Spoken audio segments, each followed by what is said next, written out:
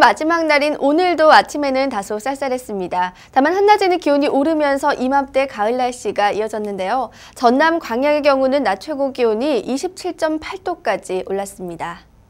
한편 오늘 저녁부터 귀경길에 오르시는 분들은 교통안전에 각별히 주의하셔야겠습니다. 날씨로 인한 불편함은 없겠지만 지금 짙은 색으로 표시된 지역을 중심으로는 안개가 짙게 낄 것으로 보이는데요. 예상 가시거리 100에서 800m 정도로 시야가 매우 흐리겠습니다. 올해 수요일까지 징검다리 연휴 즐기시는 분들은 야외 활동하셔도 좋겠습니다. 대부분 맑거나 구름만 많겠고요. 서울의 경우 낮 기온 24도 안팎에 머물 것으로 예상됩니다. 다만 일교차가 10도 이상 벌어지는 만큼 체온 조절에 신경 쓰셔야겠습니다. 이 시각 구름 모습 보시면 전국에 높은 구름이 다소 낀 상태입니다. 내일도 우리나라는 계속해서 고기압의 영향을 받겠는데요. 전국이 대체로 맑겠지만 강원 영동과 영남 동해안 지방에서는 오후에 가끔 구름 많겠습니다. 또 강원 산간 지방에는 동풍이 불어오면서 산발적으로 빗방울 떨어지는 곳이 있겠습니다.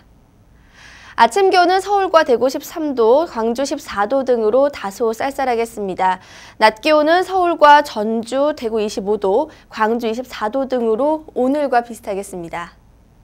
바다 물결은 전해상에서 잔잔하겠지만 남해 동부와 제주도 남쪽 먼바다에서는 오후에 최고 2.5m까지 약간 높게 일겠습니다. 지금까지 기상정보였습니다.